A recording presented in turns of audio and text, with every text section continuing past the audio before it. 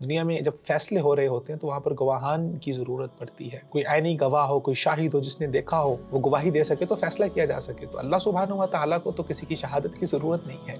इस कायनात में मौजूद छोटी से छोटी मखलूक के वजूद से लेके इस कायनात के बड़े से बड़ी मौजूदात तक, हर एक एग्जिस्टेंस तक अल्लाह सुबहान ताला से कोई भी चीज़ छुपी हुई नहीं है। इस दुनिया में रहते हुए जहाँ पर आपके पास इख्तियार है और उस इख्तियार के बावजूद आप अल्लाह सुबहान व ताली की खुशी के लिए अपना सब कुछ कुर्बान कर रहे हैं। ये मुराकबा का जो एहसास और खुशी है, ये खुशी और ये एहसास तो अहल जन्नत के पास भी नहीं होगा। बसमीम अल्लाम वरहमल वर्क वेलकम टू अदर एपिसोड मारफत अलही के आज के इस एपिसोड में हम अल्लाह सुबहान व ताली के दो बहुत ही खूबसूरत नाम अशहीद और रकीब, इन दोनों के हवाले से गुफ्तु करेंगे।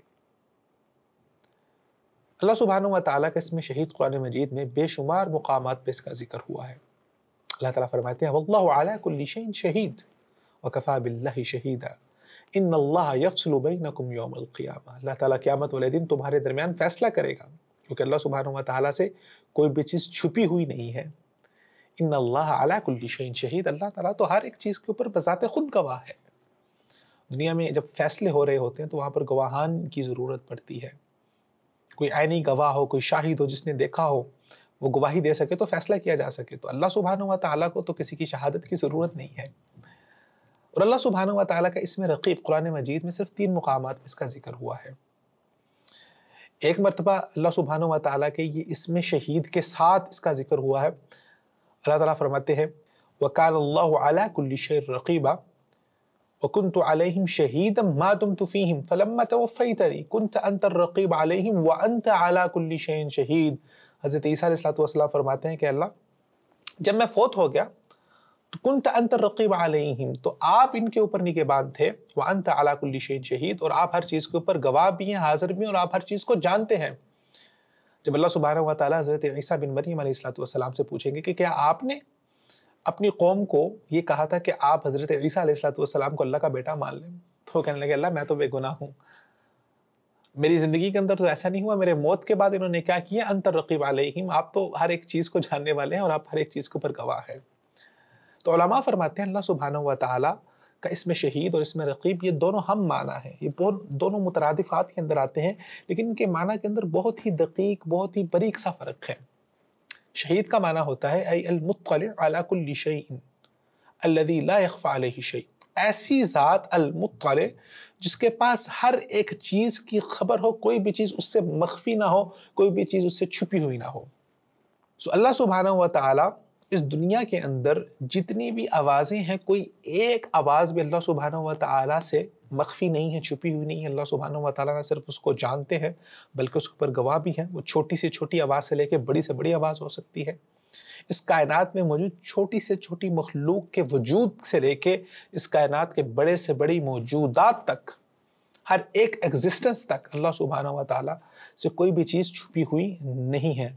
वह अहात बिकुल्ल शैन अल्लाह सुबहान व का इल्म इस पूरी कायनात को अपने हाथे में लिए हुए है।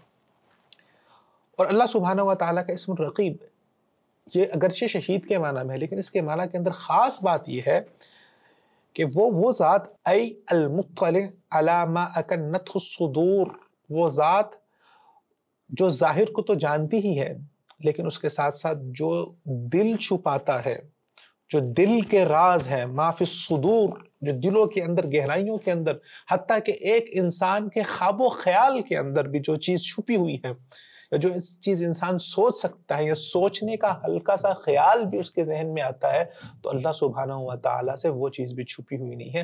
अल्लाह सुबहाना व ताली हर एक चीज़ को जानते हैं।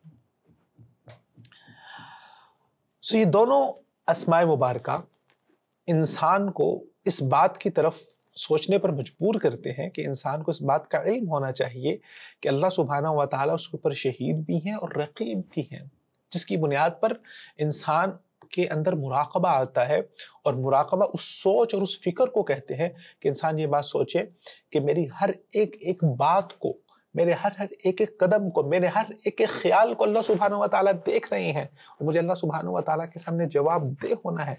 ये एक ऐसा एहसास है, जिसकी बुनियाद पर इंसान अपनी पूरी ज़ात की, अपनी नीयत की, अपनी सोच की, अपनी फ़िक्र की असलाह कर सकता है। जब हम आमतौर पर लोगों से मिल रहे होते हैं तो हम अपना बेहतरीन वर्जन होते हैं, बहुत खूबसूरत बातें कर रहे होते हैं, बहुत अच्छे तरीके से हम बातें कर रहे होते हैं। लेकिन मैं अंदर से क्या हूँ? मेरी हकीकत क्या है? मेरी असलियत क्या है? वो दूसरे इंसान को नहीं पता होती। इसलिए वो लोग जो दूसरों को धोखा देने में, फ्रॉड देने के अंदर कामयाब हो जाते हैं, इसलिए कि दूसरा इंसान दिलों के राजों को नहीं जानता। लेकिन एक इंसान दूसरे इंसानों को तो धोखा में रख सकता है, लेकिन क्या अल्लाह सुबहान व ताली की ज़ात को भी धोखे में रख सकता है? नहीं। सो मुराकबतुल्लाह ताला इंसान के दिल में इस बात का एहसास हो कि अल्लाह सुबहान व ताला वो रकीब अलैह। उसके ऊपर निगेबान है, उसकी एक एक चीज़ को वॉच कर रहा है, उसकी एक एक चीज़ को देख रहा है। रात को जब आप सो रही हैं, आपके कंबल के अंदर, रजाई के अंदर, आप अपने घर वालों से अपने मोबाइल फ़ोन को तो छुपा सकते हैं, उसको पास कोट लगा सकते हैं, उसको लॉक लगा सकते हैं, अपनी चैट्स को आर्काइव कर सकते हैं लॉक के अंदर डाल सकते हैं। हो सकता है लोग उस तक ना पहुँच पाए, लेकिन वकान अल्लाह अला कुल्ली रकीबा। लेकिन अल्लाह सुबहान की ज़ात है जो हर चीज़ के ऊपर है। शेख अब्दुलरमान साद रहमत फरमाते हैं, रकीब व शहीद मुतरदिफ़ान अल्लाह ताली के दोनों नाम मुतरदिफ़ एक ही माना के अंदर है। किला हुमा यदुल्लु अला इहातति समइल्लाहि बिल व बसरिही व इल्मिही बिजमील मालूमात अल वल खफिया। अल्लाह सुबहान व ताली का इस कायनात में कोई भी चीज़ अगर देखी जा सकती है तो अल्लाह सुबहान व ताली के इल्म में है। कोई भी चीज़ सुनी जा सकती है तो अल्लाह के इल्म में है। तमाम मालूम अल्लाह सुबहान व ताली के पास है हती कि रकीब अलामा दारा फिल खवातर। अल्लाह अकबर। अल्लाह सुबहान व ताली उस चीज़ के ऊपर भी निगहबान है, जो सिर्फ़ इंसान के वहम और ख्याल में जिसका गुमान आता है, वो भी अल्लाह सुबहान व ताली उसको जानते हैं। इसलिए अल्लाह सुबहान व ताली ने इंसान को कुरान मजीद में मुखातिब होकर फरमाया, और अगर कोई इंसान ये चाहता है तो उसको कुरान मजीद की इन आयात के ऊपर गौर करना चाहिए। अल्लाह ताला फरमाते हैं वअलमु अन्नल्लाह यअलमु मा फ़ी अनफुसिकुम फहदरू वअलमु अन्नल्लाह गफूरुन हलीम जान लो कि अल्लाह सुब्हानहू व तआला जो कुछ आसमान और ज़मीन में सब चीज़ को जानते हैं, हर एक चीज़ को जानते हैं। फ़हदरू अल्लाह ताला से डर जाओ, उससे बच जाओ। वकान अल्लाह अला कुल्ली शै रकीब अल्लाह ताला हर चीज़ पर हर चीज़ की गहराई की हद तक अल्लाह सुबहान व उसकी निगहबानी कर कर रहे हैं, उसको जानते हैं। वह कुन तुम अल्लाह सुबहान व तुम्हारे साथ है, तुम जहाँ पर भी होते हो और जो तुम कर रहे हो, अल्लाह ताला देख रहे हैं। अल्लाह अकबर। क्या वो ये नहीं जानता? इंसान क्या तू ये नहीं जानता भी अल्लाह ताला देख रहा है? वसबिर हुक्म रब्बिका, फ़इन्नका बिआयुनिना। फिर एक आयत में अल्लाह सुबहान व तआला फरमाते हैं यअलमु खाइनतल अयुन वमा सुदूर अल्लाह सुबहान व तआला हर उस चीज़ को जानते हैं, खाइनतल अयुन, जो आँखों की ख़यानतें हैं, जो आँखों के हल्के हल्के इशारे हैं, जो इशारों में लोगों को पता नहीं चलने देते और एक दूसरे से इशारों में बातें हो जाती हैं, अल्लाह ताला आँखों की ख़यानत को भी जानते हैं वमा सुदूर और जो दिलों के अंदर छुपा हुआ है, अल्लाह सुबहान व तआला उसको भी जानते हैं। जो इंसान अपनी ज़िंदगी में इस्लाम, ईमान और फिर दर्जा एहसान पे पहुँचना चाहता है। और महसिन वो लोग हैं वल्लाबुलमहसिन जिनसे अल्लाह सुबहाना वाली मोहब्बत करते हैं। तो उसको अल्लाह सुबहाना वाली के इसम रकीब और इसम शहीद को अपनी ज़ात के अंदर इस तरह से शामिल करना होगा कि हर वक्त उसके दिल में ये बात रहे कि अल्लाह सुबहाना वाली उसको देख रहे हैं। जैसे जबरील के अंदर जब हज़रत जबरील ने रसोल्ला से सवाल किया कि मल एहसान एहसान क्या है? तो आपने फरमाया का आप अल्लाह की इबादत इस तरह से करें कि कन्न का तरह कि आप अल्लाह सुबहान ताली का दीदार कर रहे हैं। फ़िल्म तकुन तराह फ़िन अगर आपके दिल के अंदर ये बात पैदा नहीं हो सकती कि आप अल्लाह सुबहान ताली को देख रहे हैं, ईमान का दर्जा इतना नहीं है फ़िन जराक एटलीस्ट आप इस ख्याल को अपने माइंड के अंदर रखें, वो आपको देख रहा है। अल्लाह ताला की ज़ात आपको देख रही है। अल्लाह सुबहान ताला की ज़ात न सिर्फ़ देख रही है, बल्कि आपकी आपकी ज़ुबान से निकली हुई बात को सुन भी रही है। न सिर्फ़ आपकी ज़ुबान से निकली हुई बात को सुन रही है, आपके दिल के अंदर जो खुफिया प्लानिंग है, अल्लाह सुबहाना ताला उसको भी जानती है। और खुफिया प्लानिंग तो दूर की बात, आपके वहम और गुमान और ख्याल के अंदर पे जो हल्का सा ख्याल भी आ रहा है अल्लाह सुबहान व ताला, उसको भी जाने तो अल्लाह सुबहान व ताला से क्या चीज़ छुप सकती है? अल्लाह सुबहान व ताला से क्या छुपाया जा सकता है? कुछ भी नहीं। तो एहसान का दर्जा यह है कि इंसान के वहम, गुमान और ख्याल में भी सुबहान अल्लाह वो भी इस चीज़ से डर में हो, उसके अंदर भी तखवा हो अल्लाह सुबहान व ताली का। यालम खाइनतलायुनी वमा तुखफिसूर इमाम इब्न क़य्यिम रहमतुल्लाह फरमाते हैं कि जिस इंसान को अल्लाह सुबहाना व ताली का मुराकबा मिल जाता है इसम रकीब और इसम शहीद के नाम की वैल्यू मिल जाती है, फिर उसके बाद फ़िन सरूरक़ल्ब बिल्ला व फ़र्ही बिही व बिही ला युशबिहु शैअन मिन मिन दुनिया अलबत्तन फिर अल्लाह सुबहाना व तआला की ज़ात उसके दिल का सुरूर बन जाती है, उसकी आँखों की ठंडक बन जाती है और ये फ़रहत, ये खुशी दुनिया की किसी नेमत के अंदर नहीं मिलती उसको। दुनिया की तमाम नेमतें तमाम जायके बेजायके हो जाते हैं, तमाम रंग बेरंग हो जाते हैं। फिर उसकी ज़िंदगी की खुशी की इंतहा ये होती है कि मैंने आज ये अचीव कर लिया जिसके ज़रिए से मैंने अल्लाह सुबहाना व ताली को खुश कर लिया।